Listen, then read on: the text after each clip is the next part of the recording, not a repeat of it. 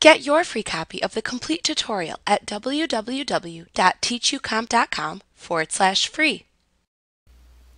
Before entering new vendors into your company file, you should ensure that you also have the vendor default set as desired to prevent having to enter repetitive data values into each new vendor record you create. You can access this information by selecting Maintain from the menu bar, rolling down to the Default Information command, and then selecting Vendors. The Vendor Defaults window is where you store information that is common to most of your vendors and purchase transactions. These are the default settings applied to each new vendor record created. Therefore, you will want to set these to the most common settings given to new vendors. You can always change the default settings on a per vendor basis when you create the actual vendor records in the future if necessary. In the Vendor Defaults window, you can click the Payment Terms tab to create the standard terms for payment applied to the majority of invoices that you receive from your vendors. Here is where you also set the default General Ledger Purchase Account Number, Discount Account Number, any discount allowances, as well as enter a standard credit limit to use by default for your purchases from your vendors. Specifying these terms simply allows you to set the standard terms most frequently assigned to you by your vendors.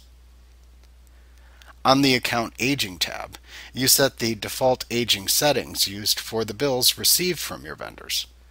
You select whether your purchase invoices should be aged by invoice date or due date by default, and you also set the brackets used for aging the company's payables. You can create up to five additional fields for maintaining custom information on your vendors within the Custom Fields tab. You define the names of the data fields here, and then you fill in the desired values for each new vendor record as you create them in the future.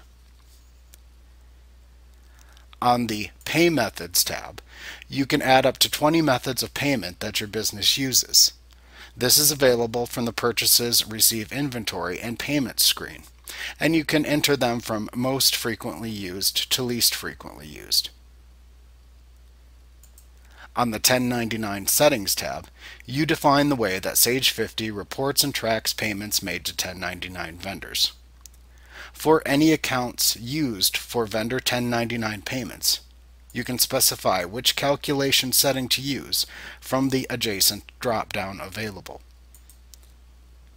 When you have finished setting your vendor defaults, click the OK button to save them.